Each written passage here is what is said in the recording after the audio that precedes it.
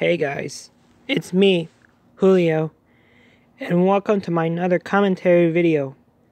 And today's commentary is on Christmas Yes Sunny Day News rant on Jay Kizer. Well, that rant is going to suck because he gave out invalid reasons to hate him. Alright, without further ado, let's begin the commentary. Shall we?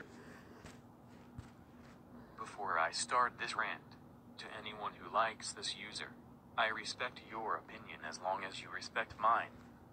Well, you use I respect your opinion term just to avoid criticism. And I respect your opinion term is getting overused nowadays. Anyways, enjoy. Jay Kizer. More like Gay Pooper. Really? Is this the best insult you can come up with? Also, the more like term is getting old. Oh my god. This user sucks. This user likes to make awful videos. Nah, you make awful videos, mister. He hates me just because I take Boj Rock's SpongeBob sucks way too seriously. Yeah, because he became a dead horse, and you still taking him way to the extreme? Wow. That that proves you're taking him way to the extreme. And he also thinks that he is a dead horse.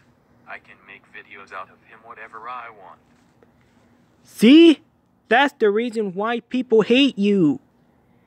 Because you kept taking SpongeBob, you kept taking Boj Rock SpongeBob Sucks way to the extreme.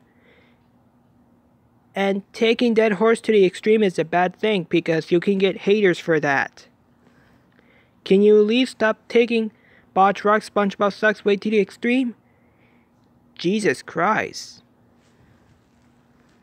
And he also hates me because I use Gitaroo's voice for my videos, Um, I have nothing to word to say about that. which means he is a bastard for doing that. No, he's not. You are. I hope this user gets terminated soon. Well, that ain't gonna happen to me. Do you know who likes this user? All characters from Sunny Day. They watch his videos every day. Dude, no offense. But fictional characters don't have opinions. You dumb.